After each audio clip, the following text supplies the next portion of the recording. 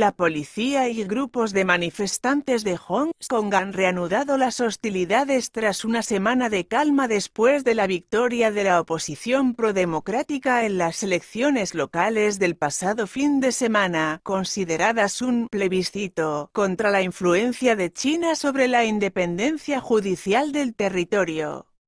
Las escaramuzas han comenzado durante una de las tres marchas programadas para hoy y que pretendía dirigirse al consulado de Estados Unidos para expresar su agradecimiento al país norteamericano después de que su presidente Donald Trump asegurara la semana pasada que había impedido la intervención militar china en el territorio. Otra de las marchas, bajo el lema «Para que no olvidemos», ha sido convocada para conservar el ímpetu del movimiento de protesta que comenzó en marzo de este año con marchas pacíficas que acabaron degenerando en junio enfrentamientos habituales con la policía. En el epicentro se encuentra la suspendida ley de extradición de detenidos a China, una normativa que vulnera, en opinión de los críticos, los derechos de los detenidos y la integridad jurídica del territorio, estipulada en los términos de la devolución a China en 1997 de manos británicas.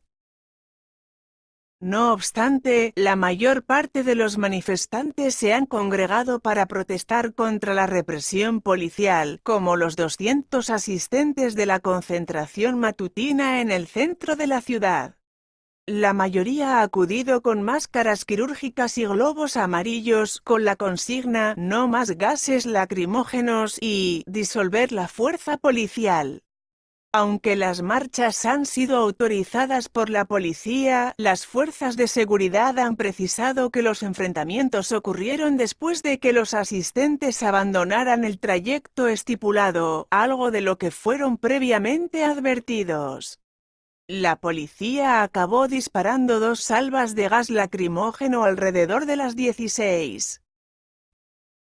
45 en Salisbury Road, cerca del Museo del Espacio, después de que algunas personas les arrojaran objetos como botellas de agua, según informan testigos del South China Morning Post.